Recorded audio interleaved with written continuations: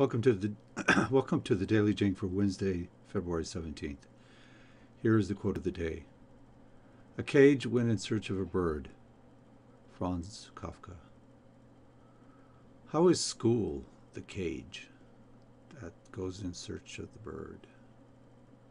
Or the job, how is that the cage that goes in search of a bird? Hmm. Let's look at the schedule. Wednesday, we're still dealing with green, with the green discussion. Reflection imitation first draft is due on Friday or by Monday at 6 a.m. Let's go back to the notes here. So let's talk about myth for a moment. As you probably all recognize, myths are not true or at least they are not true in the strict sense that what is portrayed in a myth actually happened.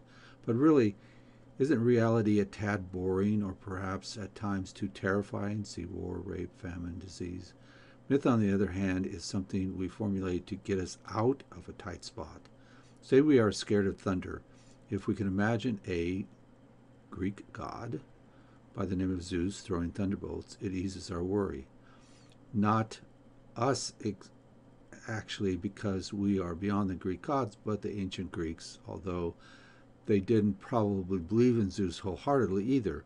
But the reason myths exist is that people making a myth need them to help with how everything got started, creation, so the people making the myth can get on with their business.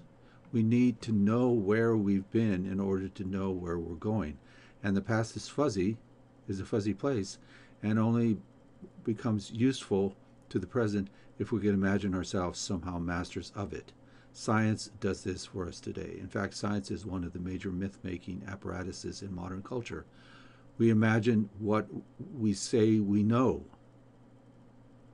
Darwin was doing that when he invented evolution. The myth of evolution substantiates a vision of biology, reality, but in the end, it is only another creation story it will be abandoned like the Greek myths when some new reality pops its head up and we've reformulated its myth in order for us to create the future we want.